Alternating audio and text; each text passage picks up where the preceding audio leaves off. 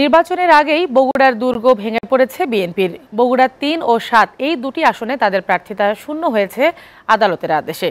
প্রার্থী মনোনয়নে দলের সঠিক সিদ্ধান্তের অভাবকেই দায়ী করছেন স্থানীয় নেতাকর্মীরা। বগুড়া থেকে জাকারিয়া বিপ্লবের ক্যামেরায় বিস্তারিত জানাচ্ছেন আরিফ রেহমান।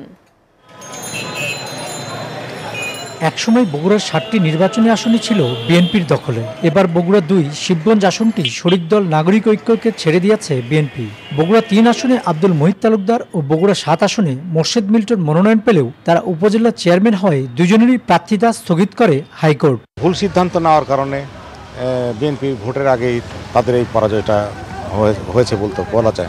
বিএনপির আরও যোগ্য প্রার্থী ছিল, অনেককেই তাকে নমিনেশন পেপার সাবমিট করতে দেওয়া হয়নি। স্থানীয়দের মতে, ভোটের আগেই বিএনপির দুর্গ ভেঙেছে। এদিকে নির্বাচনী কৌশলের পরাজয় বলে মনে করেন অনেকেই। প্রার্থী মনোনয়নে দলের সিদ্ধান্ত সঠিক হয়নি বলে ক্ষোভ জানিয়েছেন তারা। কেন? আমাদের তো বড় দল, যোগ্য প্রার্থী অনেক ছিল। প্রত্যেকটা কনস্টিটিউশনে আমাদের যোগ্য প্রার্থী ছিল।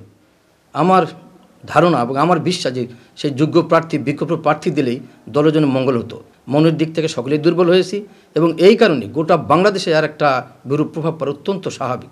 তবে প্রার্থিতা ফিরে পেতে আইনি লড়াই চালিয়ে যাওয়ার ঘোষণা দিয়েছেন মোর্শেদ মিল্টন। প্রার্থিতার বিষয় আপনার ওই স্বতন্ত্র প্রার্থী আওয়ামী লীগের সভাপতি ওয়াই স্বতন্ত্র প্রার্থী উনি হাইকোর্টে আমার বিরুদ্ধে রিট করছে। সেটা আপনার মাসের নেব এটাকে সরকারের অপকৌশল বলে অভিযোগ করেন জেলা বিএনপির সভাপতি? প্রার্থী শূন্যতাটা, এটাও তো সরকারেরই একটা মানে অপকৌশল। তারা কারসাজি করে বগুড়ার দুটা প্রার্থীকে নির্বাচন থেকে দূরে সরে রাখছে। এখানে তো আইনি কোনো জটিলতা নাই। তারপরে জটিলতা সৃষ্টি করা হয়েছে।